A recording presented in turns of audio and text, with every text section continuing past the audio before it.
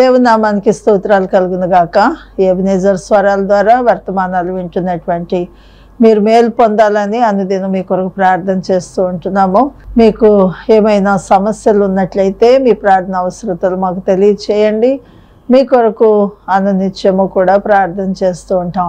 చాలామంది ఇక్కడ వర్తమానం వింటూనే అక్కడి నుంచి ఫోన్ చేసి వారి సమస్యలు షేర్ చేసుకుంటున్నారు. అప్పటికప్పుడే వారి కొరకు మేము ప్రార్థన చేస్తూ వస్తున్నాము. నేనెవరో మీకు తెలియకపోయినా మీరెవరో నాకు తెలియకపోయినా క్రీస్తు రక్తం ద్వారా మనందరం ఆయన బిడ్డలుగా ఉంటున్నాం కనుక మీరు ఒకరి గురించి ఒకరు ప్రార్థన చేసుకోమని ప్రభు తెలియచేసిన విధంగా మీ కొరకు ప్రార్థన చేయడానికి నేను సిద్ధంగా ఉన్నాను. మీ సమస్యలు తెలియచేయండి మీరు బాగుండాలని మీరు దేవునిలో ఆనందించాలని దేవునితో సహవాసం కలిగి దేవుని యొక్క కృపలో వర్ధిల్లాలని మీ కొరకు అనునిత్యం ప్రార్థన చేస్తూ ఉంటున్నాము. మా కొరకు కూడా మీరు ప్రార్థన చేస్తున్నారని నమ్మి విశ్వసిస్తున్నాం. ఈనాడు అత్యంత ప్రాముఖ్యమైనటువంటి అంశము హృదయం. మానవుని యొక్క హృదయాన్ని గురించి కొన్ని విషయాలు ఈరోజు మీతో మాట్లాడాలని ఆశపడుతూ ఉంటున్నాను. ఎందుకంటే హృదయం అనేటటువంటిది ఒక ప్రత్యేకంగా మనిషికి మాత్రమే దేవుడు ఇచ్చినట్లుగా మనం చూస్తూ ఉంటున్నాం. జంతువులకు కానీ పక్షులకు కానీ పురుగులకు కానీ జలచరాలకు కానీ అడవి మృగాలకు కానీ ఏ వేటికి కూడా ఆత్మ అనేటటువంటిది లేదు. మనిషికి మాత్రమే ఆత్మను దేవుడు వరప్రసాదంగా ఇచ్చాడని కూడా నమ్మవలసినటువంటి పరిస్థితి ఎంతైనా ఉంది. కానీ ఈ హృదయం అనేటటువంటిది చాలా భద్రంగా కాపాడుకోవాలని కూడా దేవుని యొక్క లేఖనం తెలియచేస్తూ ఉంటుంది. హృదయము అన్నిటికంటే కూడా మోసకరమైనది అది ఘోరమైన వ్యాధి కలిగినటువంటిదని ఇర్మియా గ్రంథం పదిహేడవ అధ్యాయము తొమ్మిదవ వచనాన్ని మనం చూసినట్లయితే వ్యాధులన్నిటికంటే కూడా భయంకరమైనటువంటి వ్యాధి ఏంటంటే మోసకరమైనటువంటి హృదయం. చాలాసార్లు ఎదుటివారిని మోసం చేయడానికి పనికొస్తుంది. ఆ మోసం తనకు తాను కూడా మోసం చేసుకునేటటువంటి వారిని కూడా మనం చూడగలుగుతూ ఉంటున్నాం. ఏది ఏమైనప్పటికీ కూడా అన్నిటికంటే మోసకరమైనటువంటిది అని చెప్తూ ఉంటున్నాడు అది ఘోరమైనటువంటి వ్యాధి కలిగినటువంటిది అని కూడా దేవుని యొక్క లేఖనం తెలియచేస్తూ ఉంటుంది. ఆలోచన చేయండి ఈ మోసము అనేటటువంటిది మనం జ్ఞాపకం చేసుకున్నట్లయితే మనల్ని మనం మోసం చేసుకుంటాం ఎదుటి వారిని మోసం చేస్తాం దాని కొరకు దేవుడి హృదయాన్ని ఇవ్వలేదు కానీ దేవుని చూడాలని చాలా మందికి ఆశ ఉంటుంది కదా. కానీ దేవుని చూడకుండానే ఏదో ఒక భక్తి చేసేద్దాంలే అన్నట్టుగా మనుషుల యొక్క జీవితాలు జీవన విధానాలు మనం చూస్తూ ఉంటున్నాం. దేవుని వాక్యం చెప్తుంది మతేసు వార్త ఐదవ అధ్యాయం ఎనిమిదవ వచనంలో హృదయ శుద్ధి గలవారు ధన్యులు వారు దేవుణ్ణి చూస్తారు అని. ఆలోచించేయండి దేవుని చూస్తానంటే నమ్మరు మనుషులు చాలా మంది ఎందుకంటే వారికి ఆ అనుభవం లేదు కాబట్టి. కాబట్టి ఇక్కడ మనం చూసినట్లయితే దేవుణ్ణి చూసిన మనుషులు ఉన్నారా? అంటే ఉన్నారు. లేరా అంటే లేనోళ్ళకి లేనట్టుగా ఉన్నవారికి ఉన్నట్టుగా మనం గమనించగలుగుతూ ఉంటాం ఒకప్పుడు దేవుడు మాట్లాడతాడంటే దేవుడు కనబడతాడంటే నా జీవితంలో నేను కూడా మరి నమ్మేటటువంటి దాన్ని కాదు. ఎందుకంటే అప్పుడు దేవుని యొక్క స్వరాన్ని విన్నదాన్ని కాదు దేవుని చూసినటువంటి దాన్ని కాదు. కానీ ఇప్పుడు నేను చెప్తాను దేవుడు మాట్లాడతాడు కనబడతాడు అని. ఎందుకంటే దేవుడు దేవుడుగా ఒకవేళ కనబడడు కానీ ఒక దేవుని సేవకులుగానో దేవుని దూతలుగానో దేవుని పరిచారకులుగానో ఓ గొప్ప అధికారం కలిగినటువంటి వ్యక్తిగాను దేవుడు మనకి కనబడుతూ ఉంటాడు. మన సమస్యను బట్టి ఒకవేళ రోగంలో ఉన్నటువంటి వారికి ఒక డాక్టర్గా కూడా దేవుడు వచ్చి బాగు చేసినటువంటి పరిస్థితులు సన్నివేశాలు సాక్ష్యాలు మనం వింటూ ఉంటాం. ఓ శ్రమలో ఉన్నటువంటి వారికి ఒక శోధనలో ఉన్నటువంటి వారికి వారికి తగినటువంటి రీతిగా మరి దేవుడు మాట్లాడుతూ ఉంటాడు. దేవుడు మూడు రకాలుగా మాట్లాడతాడు. ఒకటి వాక్యం ద్వారా మాట్లాడతాడు. వాక్యం చదవలేని వాళ్ళకి వాక్యం వినలేనటువంటి వారికి కళల ద్వారా కూడా మాట్లాడతాడు.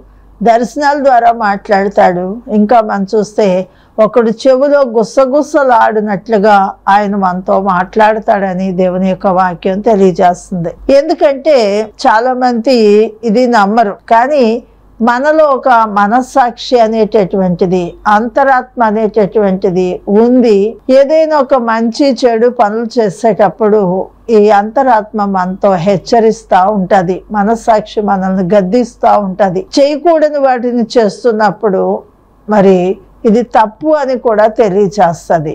మరి ముఖ్యంగా మనిషి లోపల ఇంకొక మనిషి ఉన్నాడు అని దేవుని యొక్క లేఖనం తెలియచేస్తూ ఉంటుంది. బయట ఉన్నటువంటి శరీర సంబంధమైన మనిషిని పౌలు గారు అంటారు కదా మరి బాహ్య పురుషుడు అని అంటాడు. లోపల ఉన్నటువంటి మనిషిని ఆ, అంతరంగ పురుషుడు అనేటటువంటి మాటను అక్కడ మెన్షన్ చేస్తూ ఉంటాడు. కాబట్టి శరీర సంబంధమైనటువంటి మనిషి కొంతకాలమే ఉంటాడు కానీ ఆత్మ సంబంధమైనటువంటి మనస్సు యుగ యుగాలు ఆ మనిషి ఉంటాడు అని దేవుని యొక్క లేఖనం తెలియచేస్తూ ఉంటుంది. ఏది ఏమైనప్పటికీ కూడా ఈ హృదయము అన్నిటికంటే మోసకరమైనది అది ఘోరమైన వ్యాధి కలిగినటువంటిది అని ఎందుకు ఉపయోగించాడు ఇక్కడ దేవుని యొక్క సేవకుడు భక్తుడు అనే మాటను మనం గమనించినట్లయితే రకరకాల వ్యాధులు ఉన్నాయి వ్యాధులన్నిటికంటే కూడా ఘోరమైన వ్యాధి అని చెప్తుంటాడు. సహజంగా మనం చూసినట్లయితే ఒక కుష్ఠరోగాన్ని చూసినట్లయితే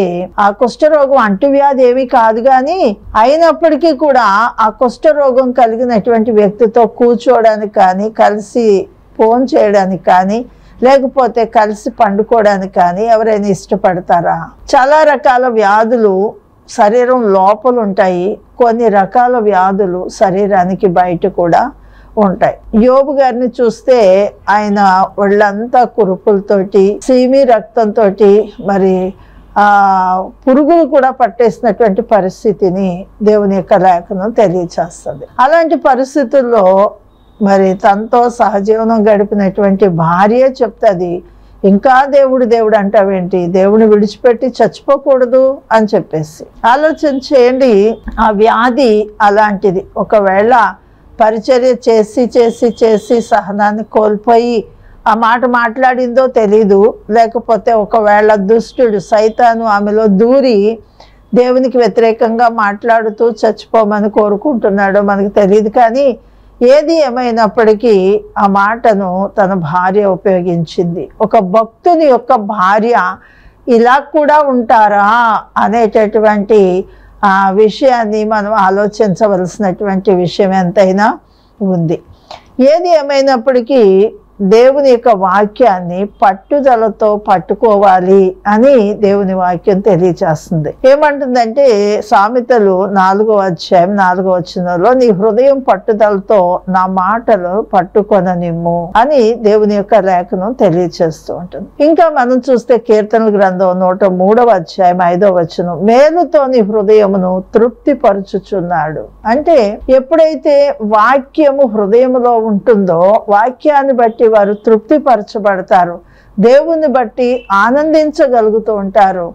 అందుకే పిలిపిలికి రాసిన పత్రిక నాలుగో అధ్యాయం నాలుగో వచనంలో చెప్తాడు కదా. మరి నేను మీతో చెప్పింది ఏంటంటే అని చెప్తూ చక్కగా ఆనందించండి మరలా ఆనందించండి ప్రభునందు ఆనందించండి ఎల్లప్పుడూ ఆనందించండి అనేటటువంటి హెచ్చరికలు మనం చూస్తూ ఉంటాం. ఎందుకంటే లోకస్తులు లోక విషయాల్లో ఆనందిస్తే దేవుని పిల్లలు దేవునిలో ఆనందిస్తారు. ఈ లోకమాలో ఉన్నటువంటి ఆనందం కొంతకాలమే ఉంటుంది కానీ హృదయంలో ఉన్నటువంటి ఆనందం నిత్యము దేవునితో ఉండేటట్టు చేసేటటువంటిది దేవుని సహవాసాన్ని కోరుకునేటటువంటిది. ఇంకా మనం చూసినట్లయితే దావీదు చెప్తాడు నా హృదయంలో నేను కనుక పాపాన్ని లక్ష్యం చేసినట్లయితే యహోవా నా మనవి వినకపోవును అని చెప్తూ ఉంటాడు. చాలా మంది హృదయాల్లో పాపాన్ని సుఖనివాసంగా చేసుకుంటారని దేవుని వాక్యం తెలియచేస్తుంది. వారు మాట్లాడితే పాపాన్ని గురించే మాట్లాడతారు. వాళ్ళు చూస్తే పాపాన్నే చూస్తూ ఉంటారు. వారు జీవించేది పాపంలోనే జీవిస్తూ ఉంటారు ఈరోజు సెల్ ఫోన్ చేతిలో ఉంది కదా అని చెప్పేసి వాళ్ళు ఏం చూస్తున్నారు అనేది కూడా దేవుడు పరిశీలన చేసేటటువంటి వాడు. ఈరోజు చాలా మంది చర్చిలో కూర్చొని కూడా వాక్యం వినరు రిఫరెన్స్లు తీరు చదవరు ఏ విషయంలో కూడా ఏకీభవించరు. కానీ ఆ ఫోన్తోనే వారు చూస్తూ ఉంటారు. చాలామంది అనుకోవచ్చు ఫోన్లో వాక్యం చూస్తున్నారేమో అని. ఆ పక్కన ఉన్న వాళ్ళు గమనిస్తూ ఉంటారు. అది కూడా ఆలోచన ఉండదు వారి వారి మనస్సు ఎక్కడైతే ఉంటుందో వారి ఆలోచన ఎక్కడైతే ఉంటుందో ఆ ఫోన్లో ఛానల్ కూడా అక్కడే ఉంటుంది. కాబట్టి వారు ఏం చూస్తున్నారు అనేటటువంటిది దేవుడు ప్రతి మనిషిని కూడా గమనిస్తున్నట్లుగా మనం చూస్తూ ఉంటున్నాం. అందుకే దేవుని వాక్యం ఏం చెప్తుందంటే సామెతల గ్రంథం నాలుగో అధ్యాయం ఇరవై మూడవ వచనంలో నీ హృదయంలో నుండి జీవదారులు బయలుదేరును కాబట్టి అన్నిటికంటే ముఖ్యముగా నీ హృదయమును భద్రముగా కాపాడుకొను. దేవుని మాటలు జీవపు ఊటలు అని దేవుని యొక్క లేఖనం తెలియచేస్తారు కాబట్టి చాలా మంది లేచిన వెంటనే పేపర్ చదువుతారు. పేపర్ అంతా మొత్తం ఒక అక్షరం కూడా వదలకుండా చదివేసే వాళ్ళు కూడా ఉన్నారు అని నేను విన్నాను. అబ్బా అవన్నీ చదివేసి ఏం చేస్తారో నాకు తెలియదు కానీ ఒక ఆవిడ మరి నాకు తెలిసిన ఆవిడ బాగా. అయితే ఇంట్లో నలుగురు పనోళ్ళు ఉన్నారు. ఇంట్లో ఏ పని చేసే పని లేదు. ఉయ్యాల్లో కూర్చొని పేపర్ మొత్తం చదివేస్తుందంట. నేను చెప్పాను దాన్ని చదవడం వల్ల మీకు ఏంటి ఉపయోగం అంటే ప్రపంచంలో ఉన్న విషయాలన్నీ తెలుసుకుంటారా? నేను అడిగాను తెలుసుకొని ఏమైనా మీరు ఒక సైంటిస్ట్ అవుతారా? లేకపోతే ఇంకేమైనా రాజకీయవేత్త అవుతారా? లేకపోతే ఒకవేళ విరిగిపోయే ఆకాశాన్ని ఏమైనా ఎత్తి పట్టుకోగలరా? ప్రపంచంలో జరుగుతున్న విపత్తులు ఏమైనా అడ్డుకోగలరా? అంటే అదేమి కూడా చేయలే. ఏం చేస్తారంటే టైం పాస్. చాలా మంది జీవితాలు మనం చూసినట్లయితే కొంతమంది చెడ్డ పుస్తకాలు చదువుతూ ఉంటారు. అంటే వారి మనస్సు హృదయంలో ఉన్నటువంటి ఆ చెడుగును బట్టి వారు చేస్తూ ఉంటారు. కొంతమంది ఎప్పుడు దేవుని వాక్యం చదువుతున్నటువంటి వారిని కూడా నేను చూస్తూ ఉంటాను. ఎందుకంటే నాకు కూడా దేవుని వాక్యం అంటే చాలా ఇష్టం. చిన్నప్పటి నుంచి కూడా వాక్యం చదువు చదవాలన్నా వాక్యం వినాలన్నా చిన్న పిల్లలు చెప్పిన వాక్యం వింటాను. ఎందుకంటే ఎవరి ద్వారా ఏ విధంగా దేవుడు మాట్లాడుతాడు ఎవరిని ఎలా వాడుకుంటాడు అనేటటువంటిది దేవుని యొక్క ప్రణాళిక చాలా విచిత్రమైనటువంటిది. చాలా మరి ఆ దేవుని యొక్క కార్యాలు గమనించడానికి కానీ ఆలోచించడానికి కానీ ఊహించడానికి కానీ ఊహకు అందదు. కాబట్టి ఎందుకంటే ఆయన అనంత జ్ఞాని. ఆ జ్ఞానానికి మితి లేదు. మనుషుల జ్ఞానమే ఎంతో గొప్పది అని అనుకుంటే ఇంకా దేవుని యొక్క జ్ఞానం ఇంకెంత గొప్పదో ఆలోచన చేయండి. కాబట్టి అన్నిటికంటే కూడా ఈ హృదయాన్ని చాలా భద్రంగా కాపాడుకోవాలి. ఎందుకంటే ఏ చెడ్డ ఆలోచనలు వచ్చినా ఏ చెడ్డ కార్యాలు చేయాలనుకున్నా ఈ హృదయము అవును అని అంగీకారం చూపిస్తేనే అది తప్పవుతుంది. లేకపోతే మరి ఒక భక్తుడు చెప్తాడు మన నెత్తి మీద నుంచి ఎన్నో ఆకాశ పక్షులు ఎగిరిపోతూ ఉంటాయి. అయితే ఆ ఎగిరిపోయే ఆ పక్షాల్లో మన తలలో గూడు కట్టుకుంటే మన పరిస్థితి ఎలా ఉంటుంది అని. మంచి ఆలోచనలు రావచ్చు చెడ్డ ఆలోచనలు రావచ్చు కానీ అవి సుఖ నివాసం చేయకుండా మన జీవితాల్లో ఎగిరిపోయేటట్టుంటే వాటి నుంచి మనం విడుదల పొందినట్లయితే మంచిదే. ఏది ఏమైనప్పటికీ కూడా దేవుని వాక్యాన్ని మనం చూసినట్లయితే కీర్తనల గ్రంథము పద్నాలుగో అధ్యాయం ఒకటో వచనాన్ని చూస్తే దేవుడు లేడని బుద్ధిహీనులు తమ హృదయంలో అనుకుంటారు అని చెప్పి దేవుని వాక్యం తెలియజేస్తారు బుద్ధిహీనులు అంటే మరి సామెతల గ్రంథంలో చాలా విషయాలు ఉన్నాయి బుద్ధిమంతుల గురించి బుద్ధిహీనుల గురించి. ఇక్కడ దేవుడు లేడని బుద్ధిహీనులు తమ హృదయంలో అనుకుంటారు. ఇలాంటి వాళ్ళు చాలా మంది ఉన్నారు కదండి. దేవుడు లేదు దయ్యం లేదు ఏదీ లేదు. కడిపే కైలాసం. తినడం తిరగడం పడుకోవడం చాలా మందికి ముఖ్య విధిగా ఉంటుంది. కానీ ఇక్కడ దేవుని మాటలను మనం గమనించినట్లయితే బుద్ధిహీనులు తమ హృదయంలో ఏమనుకుంటారంట? దేవుడే లేడు. అందుకే దుష్టులు విపరీత బుద్ధి కలిగి ఉంటారని చెడు పనులు చేసే వాళ్ళకి ఇది ఒక ఆట పట్టుగా ఉందని బ్రతికినంతకాలం కూడా ఇంకా తర్వాత ఇంకో జీవితం లేదు కాబట్టి ఇక్కడే మంచి చెడ్ల అన్ని అనుభవించేయాలని చెప్పేసి ఉర్రూతలుగుతున్నటువంటి మనుషులను కూడా మనం గమనిస్తూ ఉంటాం. ఏది ఏమైనప్పటికీ కూడా దేవుని భయము లేకుండా ఈరోజు మనుషులు వెచ్చలవిడిగా ఇష్టానుసారంగా జీవిస్తున్నటువంటి జీవన విధానాలు చూస్తుంటే భయం వేస్తుంది అసలు. మనుషులు చేసే ప్రతి పనిని బట్టి దేవుని దగ్గర లెక్క అప్ప చెప్పవలసినటువంటి రోజు ఒకటి ఉంది అనేటటువంటి ఆలోచన కూడా లేకుండా ఇష్టానుసరంగా జీవిస్తున్నటువంటి వారిని మనం చూస్తూ ఉంటున్నాం. సామెతల గ్రంథం పద్నాలుగో అధ్యాయం పదమూడవ వచనంలో ఒకడు నవ్వుచుండినను హృదయమున దుఃఖం ఉండవచ్చును చాలా మందిని మనం గమనించినట్లయితే నలుగురితో నవ్వుతూ ఉంటారు. ఒంటరిగా ఎంతో దుఃఖంతో వేదంతో మరి జీవితాన్ని గడుపుతున్నట్లుగా కూడా మనం చూస్తూ ఉంటాం. ఎందుకంటే మరి మార్పు లేని భర్తను బట్టో మార్పు లేని బిడ్డలను బట్టో లేకపోతే ఆర్థిక సమస్యలను బట్టో లేకపోతే అనారోగ్య పరిస్థితులను బట్టో. ఎందుకంటే కొన్ని సమస్యలు ఎవ్వరు కూడా తీర్చలేనటువంటివి. అయితే అన్ని సమస్యలు కూడా తీర్చగలిగిన దేవుడు ఉన్నాడు అనే సంగతి చాలా మందికి తెలియదు. ఎవరైతే దేవుని కలిగి ఉంటారో వారికి ఉన్న సమస్తాన్ని వారి శ్రమలు బాధలు ఇరుకులు ఇబ్బందులు అన్ని దేవుని మీద వేసి చాలా నిశ్చంతగా ప్రశాంతంగా జీవితాన్ని కొనసాగిస్తూ ఉంటారు. ఒక విషయాన్ని మనం గమనించినట్లయితే దేవాది దేవుడు చెప్తున్న మాట ఏంటంటే నీ చింత యావత్తు నా మీద వేసేసి నువ్వు నిశ్చింతగా ఉండు అని చెప్. సమస్యలు మన దగ్గర ఉన్నాయి పరిష్కార మార్గం దేవుని దగ్గర ఉంది. కొన్ని సమస్యలు మనకి మనగా తెచ్చిపెట్టుకుంటాము కొన్ని సమస్యలు సైతాన్ గడు తెచ్చి పెడతాడు కొన్ని సమస్యలు కాలక్రమేణా వచ్చేటటువంటి అయి ఉన్నాయి. ఏది ఏమైనప్పటికీ కూడా లోకంలో ఉన్నవాడి కంటే మనలో ఉన్నవాడు గొప్పవాడు. ఎవరైతే దేవుణ్ణి కలిగి ఉంటారో వారు చాలా ధైర్యంగా ఉంటారని దేవుని వాక్యం చెప్తుంది. నీతిమంతులు సింహము వలె ధైర్యంగా ఉంటారు అని. ఎందుకంటే ఏది కూడా మన వల్ల కాదు తీసేసుకోవాలంటే దాని నుంచి విడుదల పొందాలి అంటే. కాబట్టి సమస్తాన్ని చేయగలిగినటువంటి దేవునికి మనం తల ఉంచినట్లయితే మన విషయంలో ఆయన బాధ్యత వహిస్తాడు. కాబట్టి మన సమస్యలన్నిటికీ కూడా పరిష్కారము ఏర్పాటు చేసేవాడు ఆయన. తల్లి కడుపులో నుంచి పుట్టినప్పుడు మనకేం తెలీదు. అయినప్పటికీ ఆయన మనం పోషించాడు బ్రతికించాడు. ఇప్పటికీ మనకు తెలియని విషయాలు చాలా ఉంటాయి. అన్నీ తెలుసు అనుకుంటాం. కానీ మన జీవ మరణాలు ఆయన స్వాధీనంలో ఉన్నాయి. ఏ సమయానికి ఏం సంభవిస్తుందో మనకి తెలియదు కానీ దేవునికి తెలుసు.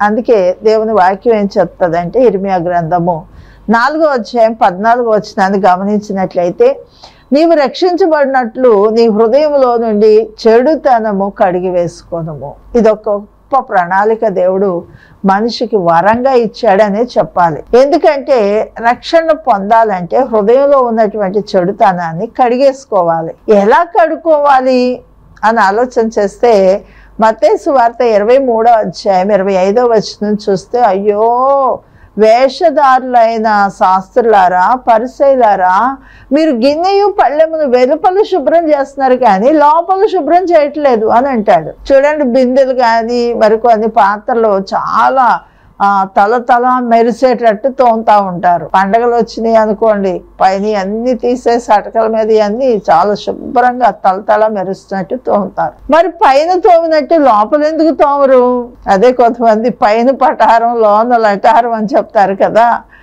పైన ఉన్న లోహం వేరు లోపల ఉన్న లోహం వేరా? పైకి భక్తి గల వారి వలె కనబడుతూ దేవుని శక్తిని ఆశ్రయించలేని వారు ఉన్నారని దేవుని యొక్క లేఖనం తెలియచేస్తారు మనుషులకు భక్తి పనుల వలె కనబడతారు. వారు చెడు చేసిన చెడు పనులను కప్పుకోవడానికి ఒక భక్తిని కూడా వేషంగా వేసుకున్నటువంటి వేషధారులు ఉన్నారని దేవుని వాక్యం చెప్తుంది.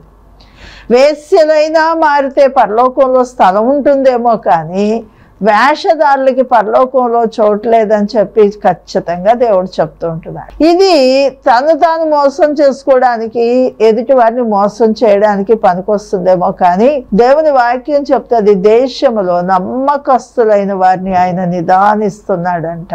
అదే చెప్తూ ఉంటాడు ఇంకా మనం చూసినట్లయితే మోసపోకుడి దేవుడు వెక్కిరించబడడు. మనిషి ఏ విత్తనం అయితే విత్తుతాడో అదే పంటను కోయవలసి వస్తుంది. మోసాన్ని విత్తితే మోసం అనే పంటని కోయవలసి వస్తుందని దేవుని యొక్క లేఖనం తెలియచేస్తూ ఉంటుంది. ఇంకా మనం దేవుని యొక్క మాటలు మనం గమనించినట్లయితే కీర్తనలు పదో అధ్యాయం ఆరో వచనం చూస్తే మేము కదల్చబడము తరతరముల వరకు ఆపద చూడమని వారు తమ హృదయములలో అనుకుందరు. దినాలు బాగానే సచ్- సాగిపోతున్నాయి. కాబట్టి మేము కదల్చబడము. తరతల తరాల వరకు కూడా ఆపద అనేది మేము చూడము అనుకుంటారు. కానీ దేవుని వాక్యం చెప్తుంది దుష్టుల తల మీద కదా పెళ్ళున దిగుతుందని మరి దేవుని యొక్క వాక్యం తెలియచేస్తుంది ఏ సమయానికి ఏం కలుగుతుందో మనకు తెలియదు కానీ దేవునికి తెలుసు. సమస్తాన్ని చేయగలిగిన వాడు సమస్తం ఎరిగినటువంటి వాడు మన జీవిత మరి కాలచక్రాన్ని రాసినటువంటి వాడు ఆయన కాబట్టి ఆయన సమస్తాన్ని ఎరిగినటువంటి వాడు. అయితే ఆపద వచ్చినప్పుడు కష్టం వచ్చినప్పుడు శోధన వచ్చినప్పుడు ఆయన వైపు తిరిగి మనం మొరపెడితే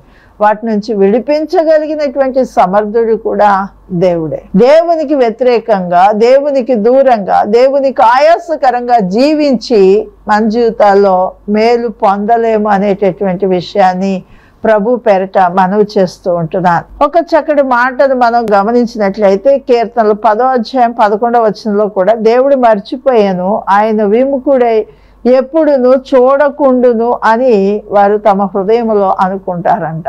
దేవుడు ఎప్పుడు కూడా దేవుడు చూడలేదులే దేవుడికి తెలియదులే నా సంగతి అని అనుకుంటుంటారు. దేవుని వాక్యం చెప్తుంది కంటిని కలగ చేసిన వాడు దాన్ని కానకుండునా చెవిని కలగ చేసిన వాడు దాన్ని వినకుండదా? చాలా మంది అనుకుంటున్నారు మనకి దేవుడు చెవులు ఇచ్చాడు మనకు కళ్ళు ఇచ్చాడు కాబట్టి దేవుడికి కళ్ళు లేవు దేవుడు చెవులు లేవు దేవుడు చూడలేదులే అని అనుకుంటూ ఉంటారు చాలా మంది అందుకే యష్యా గ్రంథం యాభై తొమ్మిదో అధ్యాయము మొదటి రెండు వచనాల్లో చూస్తే రక్షింపనేరక ఉండినట్లు ఆయన హస్తము కుర్చకాలేదు విననేరక ఉండినట్లు ఆయన చెవులేవి మందంగా లేవు అనేటటువంటి విషయాన్ని కూడా మనం చూస్తూ ఉంటున్నాం. ఆయన వింటున్నాడు ప్రతి ఒక్కటి వింటాడు. మీరు చీకటిలో చేసినటువంటి ఒక రోజు నేను వెలుగులో ప్రకటిస్తాను అంటున్నాడు.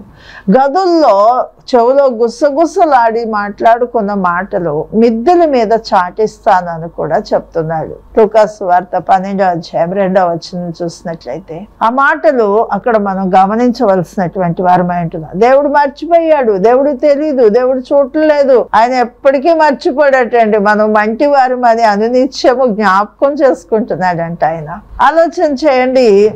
మరి మర్చిపోవడం అనేటటువంటిది మనుషులకు ఒక వరమేమో కానీ దేవుడు ఎప్పుడు కూడా ఆయన మర్చిపోడు అనేటటువంటి విషయాన్ని మనం గమనించాలి. ఇంకా మనం చూసినట్లయితే దుష్టులు తృణీకరించుట ఎలా నీవు విచారణ చేయవని వారు తమ హృదయములలో అనుకొనుట ఎలా అని భక్తుడు కీర్తన గ్రంథం పదో అధ్యాయం పదో పదమూడవ వచనంలో తెలియజేస్తూ దుష్టులు తృణీకరించబడుతున్నారు ఎందుకు?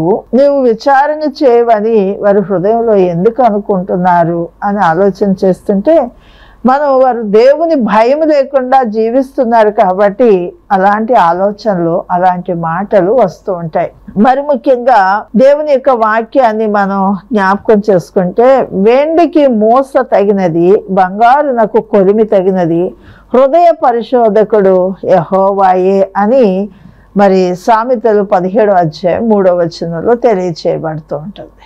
ఆయన హృదయ పరిశోధకుడు అంటండి.